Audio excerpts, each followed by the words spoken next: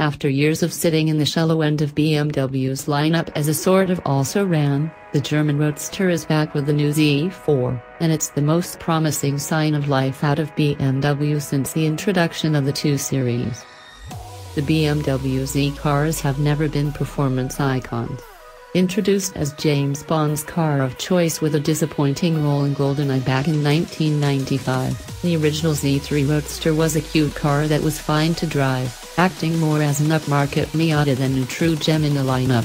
The subsequent Z4 never escaped the Bangle-era styling, and ultimately suffered as a heavy, not that pretty convertible some people bought over a Porsche or Mercedes for reasons that are beyond me.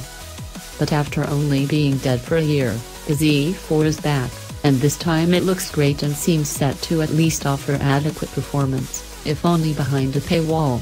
Automobile magazine claims to have details of what the production Z4 will look like, starting at the previous car's $50,000-ish price tag and quickly climbing beyond.